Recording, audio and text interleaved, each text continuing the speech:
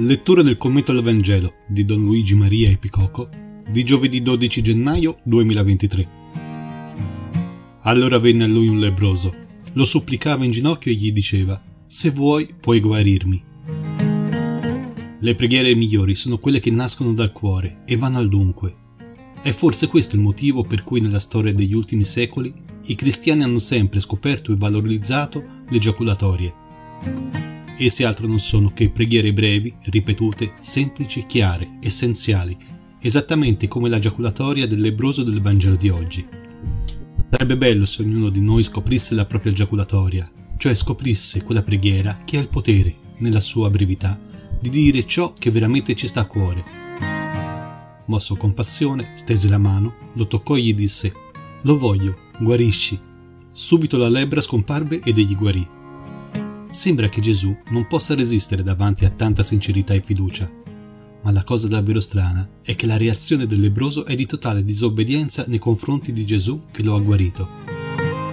E, ammonendolo severamente, lo rimandò e gli disse: Guarda di non dire niente a nessuno, ma va, presentati al sacerdote e offri per la tua purificazione quello che Mosè ha ordinato, a testimonianza per loro.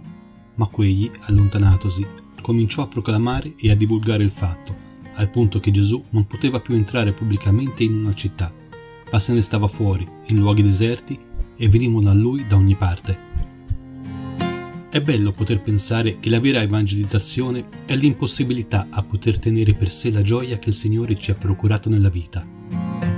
E anche se fosse Gesù stesso a chiederci di non dirlo, sarebbe per noi impossibile ubbidirgli tutto ciò capovolge l'idea di annuncio stesso.